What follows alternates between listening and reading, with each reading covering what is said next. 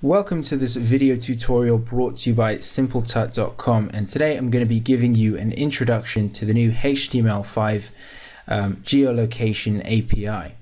Now in this tutorial we're going to be creating this application which basically displays a Google map of the earth and when the user selects the get my location button and shares their location the application will automatically update to display the user's current location um, and you can even switch to satellite imagery and zoom in and out and move around the map as you wish. Now this video is going to be an introduction to the HTML5 geolocation API. I'm going to show you how it works and give you the, a, a good understanding of the basics. So it's a great tutorial if this is something you're trying to incorporate into your projects or learn how to use or do. What I'm also going to be doing is talking to you about how you can apply this to your projects and actually take this to the next level. In preparation for this tutorial, I've gone ahead and just created this simple template that we can use to um, basically insert our geolocation app. Um, so what I've done, I've got here is I've got a div here which is going to contain my button which the user will use to actually initiate the process of finding their, their location. And of course here in this div we're going to insert the actual map. So let's go ahead and insert our HTML elements. The first thing I'm going to do is I'm going to insert my button. So I'm just going to insert a button. Now we don't need a form, so I'm just going to say no. But what I have done is I've created a class for the button, so I'm just going to apply that class. And when I select that button, I'm going to change the value to uh, get my location. And I'm going to change the name and ID of the button and I'm going to change that to get underscore location. Once I've done that, I'm ready to actually proceed to the next step of inserting our map. So I'm going to come into code view. Now this is the div, uh, the the div I've, I'm going to insert the map into. So what I'm going to do is I'm actually going to insert an additional div here, and I'm going to give this the ID of map and within this we're going to insert our Google map. Now for the purposes of just saving some time uh, I'm just going to actually copy and paste a pre-written bit of code. So I'm just going to paste this. So all you need to do here is literally just copy this out um, as you see it on the screen. And all this is going to do is prior to the user actually using the application clicking the button to get their geolocation um, it's just going to show a default Google map of the world. And then when the user actually clicks this button, we're going to use um, JavaScript to actually handle this and provide their geolocation. Alright, so now we've got the basic HTML out of the way. Let's actually preview what we've got here before we actually proceed to the next step and um, and write the, the code that's going to handle the geolocation. So what I'm going to do is I'm just going to launch this in um, Explorer and as you can see what we've got so far is we've just got a very simple um, Google map here as you can see it's just showing the, the, entire world by default which is fine and what's going to happen is when the user clicks get my location we're going to use JavaScript to actually get the user's location and pinpoint their um, location on the map. So let's come back to Dreamweaver and write the actual JavaScript that's going to handle this. So what we're going to do is we're going to come into code view and just before the closing body tag I'm going to um, just create some space for us to work with and I'm going to create our opening and closing script tags. So and between this is of course where we're going to write the um, the code that's going to handle this. Okay, so we need to create some event handlers and then use the geolocation API to call the get current position method of geolocation, which is going to pass details that we can output and use in our functions. Okay, so let's go ahead and get started. Now the first thing we're going to do is we're going to handle the on click on click function. So the first thing I'm going to write is document and then get element by ID and of course here the ID is going to be get location, which is basically the name and ID of the form button that we created previously. Um, and then it's going to be basically on click equals um, function And then the first thing we need to do here is actually return false because if we don't do that we're going to have some issues with the script but what we want to do here is now use the navigator method. Um, and this is actually used for um, determining you know different things like determining what browser that a user is using um, which isn't recommended but that's what we're going to use here. And we're also going to use the geolocation um, and then we're going to say get current location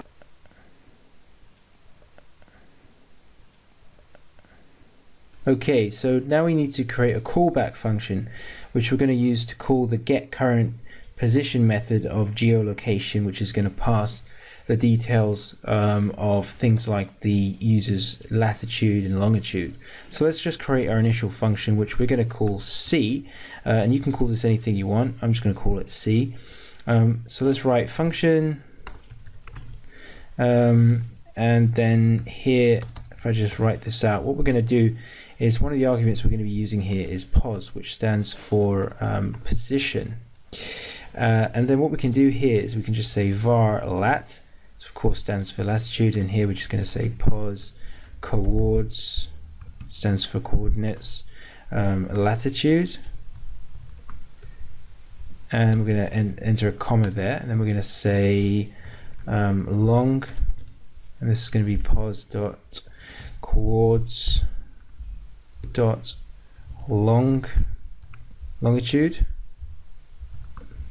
And then finally here um, we're going to create another one which is called coords which is basically we're going to create one uh, which one variable which contains um, both the lat and long latitude and longitude. So here we're just going to say lat plus long um, but we can't do it quite like that. We need to separate these two by a comma. So here I'm just going to enter another plus sign. And then here we're just going to enter a comma. And then we can end that with a semicolon and save our document. Okay, so just to sum up what we've done so far, the first thing we did was we used the on-click function to basically get hold of the user's data and basically their location. And then we used a callback function to turn the data into variables that we can use at a later stage. Okay, so just to summarize what we've done so far, we've used the on-click and geolocation get current location method um, to basically get hold of the user's location in their data. We've then used a callback function to actually get hold of that data and turn them into variables that we can use now. Because what we're going to do now is we're basically going to um, update uh, the map to display the user's uh, current location, which is really the whole point of what we've been doing in this tutorial. Um, now what we've done here is we've got a simple iframe. We've given that iframe the ID of Google Map, which is important for what I'm about to write. But we've also specified some basic uh, specifications about the iframe. And then all we've really done is linked to the Google Map.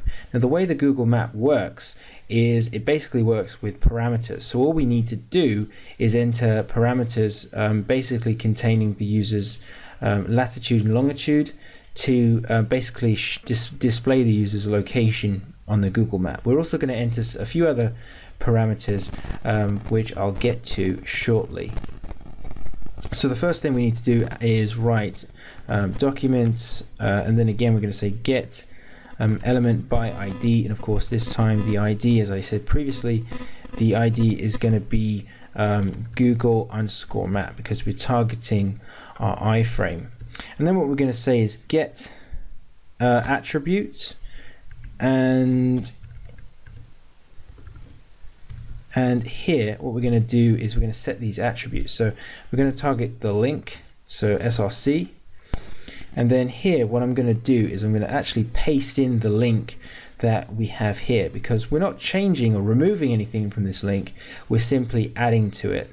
So I'm basically just going to, after this question mark, I'm going to enter my um, first parameter, which I'm actually just adding to this um, link, as I said. So the first parameter, I'm just going to enter Q, which stands for coordinates.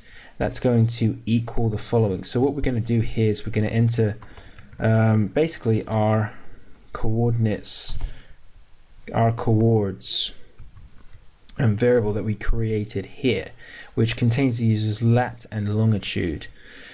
Uh, latitude and longitude. And then basically also what we're going to do here is we're going to say and because we have another parameter and we're going to say z equals 60 um, because z stands for zoom. We're going to zoom. And then I just need to enter one more and symbol because this is also uh, this is a parameter here as well. Okay, so let's just return to design view and now let's um, basically launch this in Explorer and see what we've got. Okay, so it's uh, it, it's appearing correctly. So let's now just click on get my location, and it doesn't seem to be working. So that probably suggests we've done something wrong. So I'm just going to check our code.